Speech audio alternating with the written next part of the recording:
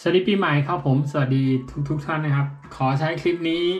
เปิดตัวแล้วกันนะครับ จริง ๆ แล้วผมใช้ชื่อในวงการว่า TM นะครับ แล้วก็จะขอใช้คลิปนี้ในการสารภาพด้วยนะครับ โอเคครับ และก็จะใช้คลิปนี้ในการเปิดคริสต์ศักราชใหม่ด้วยนะครับ ผมเตรียมตัวไม่ทันนะ ผมเตรียมเตรียมของอุปกรณ์ได้แค่นี้นะครับ แล้วก็ไม่ได้มีเนื้อหาเลย เดี๋ยวผมจะขอพูดเป็นภาษาบ้านๆจากทั้งหมดเลยแล้วกันนะครับ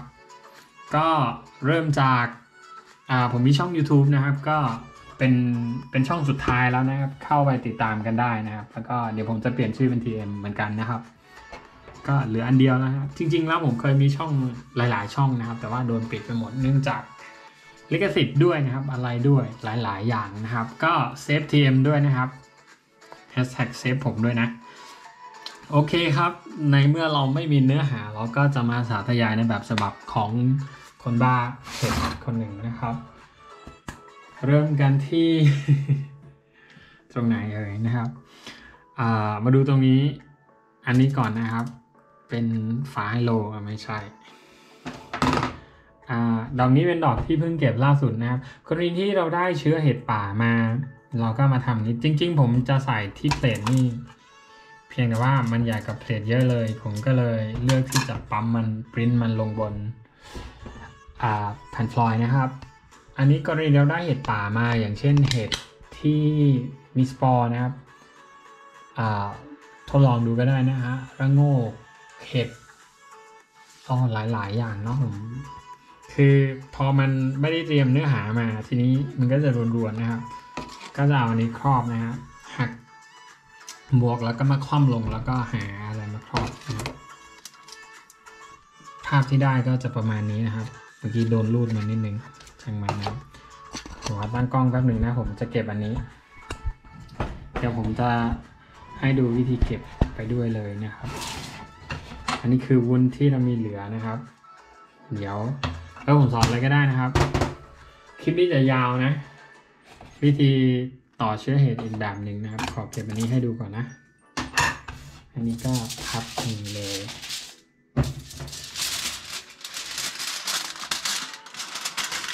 มันก็จะเก็บได้นานมากครับ คือฤดูกาลหนึ่งก็ได้ แต่ว่าผมก็ยังไม่เคยเก็บสองฤดูกาลนะ แต่มีในตลับที่ผมพยายามเก็บนะครับพอดีเห็นคำถามจากในกลุ่มมาละหนึ่งคำถามอ่าถ้าให้ดีก็คือล้างมือแอลกอฮอล์ตลอดเวลา เป็นไปได้ก็สวมถุงมือ ผมลืมวัดเลยว่าความกว้างมันเท่าไหร่พอดีเลย ตรวนิดก่อน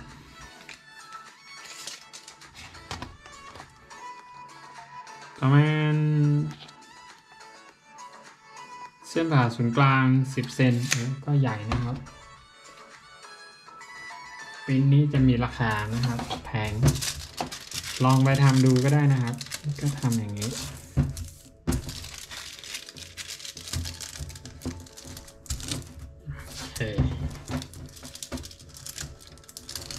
วิธีการเก็บก็เก็บไว้ในซองซิปนะครับ โยนซองดูดความชื้นไปสักอันหนึ่ง ก็จะเป็นว่าจบนะครับ เสร็จสิ้นกระบวนการแล้วก็เวลาจะใช้ก็มีคลิปที่สามารถกลับไปดูได้นะครับ จริงๆแล้วผมมีอยู่สองอ่อมีสามกลุ่มหลักๆนะครับ ก็คือกลุ่มที่อ่าชื่อว่าเห็ดห้ากับนานาเห็ดนะครับ เป็นกลุ่มร้างแล้วนานมากไม่ได้อัปเดต แล้วก็ กลุ่ม Time Ecology นะครับ แล้วก็ Time Thai Shroom นะครับ คลิปนี้จะเปิดสาธารณะนะครับ ก็เริ่มที่เห็ดตับเต่าก่อนแล้วกันนะครับ อันนี้เป็นเห็ดโปรดของผมนะ อ่า อันนี้คือ มันมีหน้าจอหน้าด้วยอะอุ้ยสีนาทีแล้ว ก็โอเค ต่อเลยนะครับ เชื้อเห็ดตับเต่าอย่างนี้ เชื้อเห็ดตับเต่ามันเดินช้ามากครับ มันเดินมาแล้วก็ทรงมันดอกดูเหมือนเสียแต่บางคนเห็นเหมือนจะเสียแต่จริงไม่เสีย แต่ว่ามันก็จะปนเปื้อนง่ายเหมือนกันนะเรื่องนี้ผ่านไป อะไรต่อนะครับาการดูแลรักษาแผ่นเพลทนะครับ โอเคตับจังหวะเลยชอบคำถามนี้ การดูแลรักษา หลังจากทำวุ้นเสร็จควรเก็บเพลทไว้ยังไงนะครับโอเค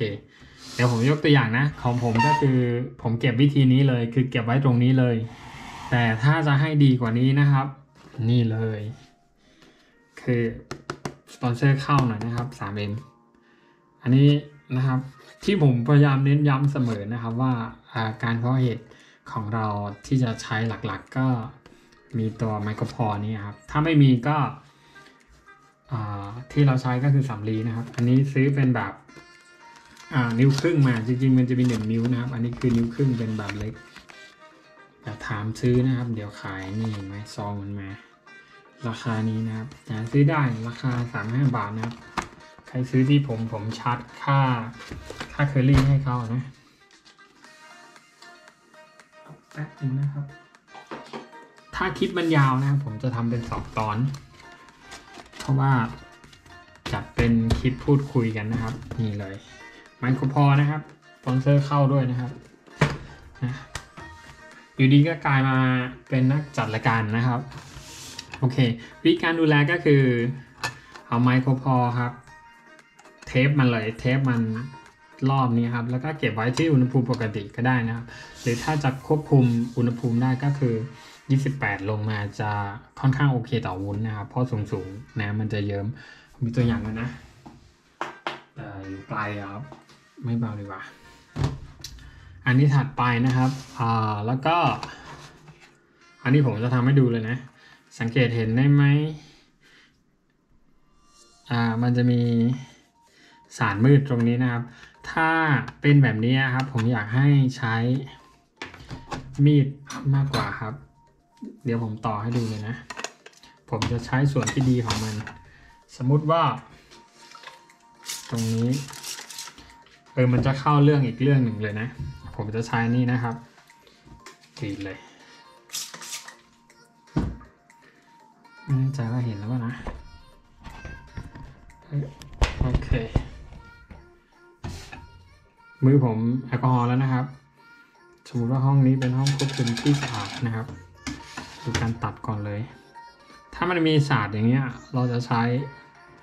คัตเตอร์เป็นหลัก ถ้าใช้ตุ๊ตู่แล้วมันมันเด้งครับนี่เลยสองทอด เอาละ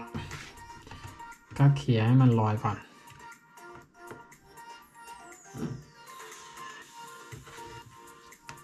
เอาทีนี้ผมก็จะมาลง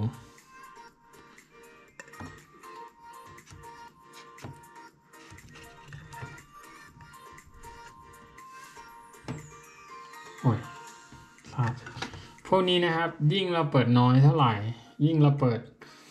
น้อยครั้งและเร็วนะครับ โอกาสติดเชื้อก็จะยิ่งน้อยลงไปอีกนะครับ ซึ่งเป็นข้อดีนะครับสำหรับคนที่มีความชำนาญ แต่ถ้า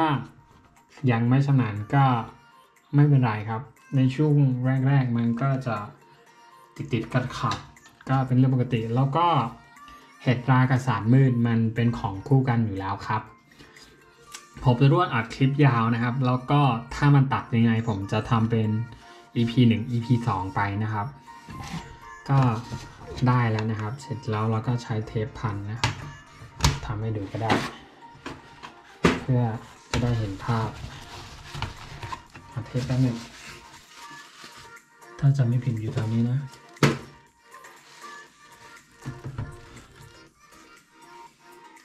ใช้ทีก็หาทีนะาย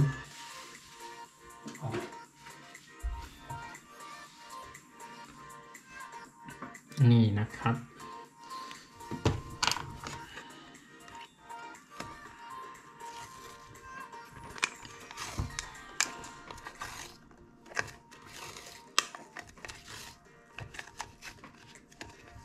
เรียบร้อยครับ ก็ชั้นได้ชั้นนั้นนะครับ ในการ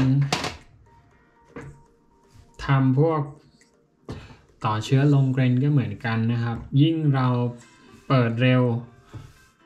เท่าไหร่โอกาสติดเชื้อก็ยิ่งน้อยนะครับ แต่ว่าทั้งนี้ทั้งนั้นก็ขึ้นอยู่กับว่า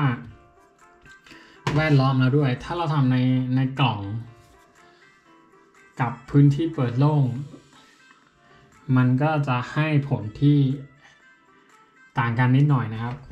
นั่นคือเหตุผลว่าทำไมพวก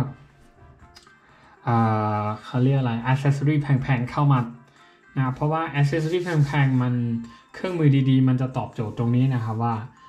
ตอบโจทย์ตรงเรื่องของการปนเปื้อนนะครับ ซึ่งจะเห็นได้มากในกรณีที่ทำอนอกตู้กับในตู้นะครับ ซึ่งในตู้ค่อนข้างจะได้เปรียบนะครับ ก็อย่างที่เคยเน้นย้ำมาเสมอว่า เครื่องมือที่ดีนะครับ จะจะช่วยเซฟเราในเรื่องของเวลาเซฟเรื่องของความปลอดภัยโอ้เซฟหลาย ๆ เรื่อง ซึ่งมันมีข้อดีนะครับ ข้อเสียของมันคือมีน้อยมากมันแพงแค่นั้นเองประมาณนั้นนะครับโอเคเอ่อต่อไปก็จะเป็น อันนี้ผมผมพูดแล้วนะอ่ามีอีกเรื่องหนึ่งนะที่ผมขออ่านี่เป็นตัวอย่าง นะครับอ่าอันนี้ผมมีตัวอย่างเลยเดี๋ยวเอามาให้ดู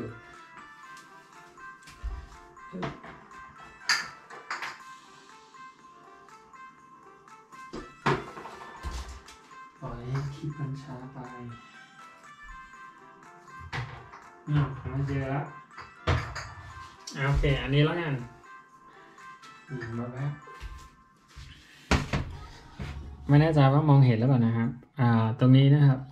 นี่คือสามมืด จริงๆเอาเรื่องพวกอันนี้อะมันเป็นของคู่กันนี่ละมันเหมือนมีมี